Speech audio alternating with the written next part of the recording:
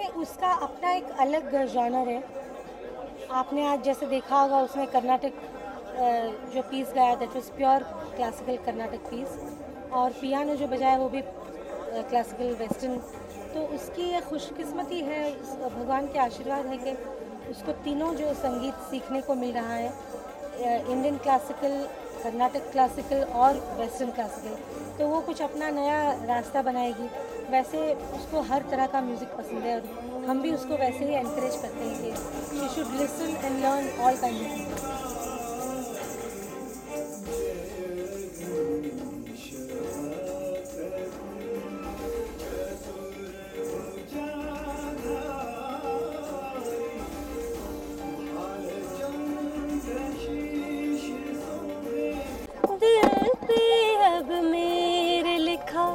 एक नाम तेरा।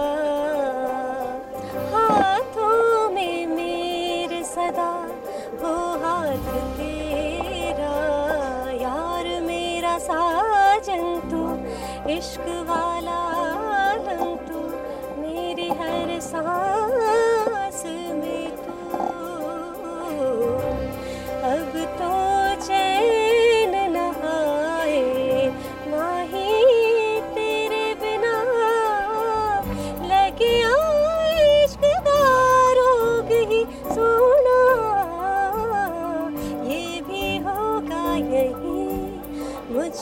है ये यकीन। होगा सबसे मेरा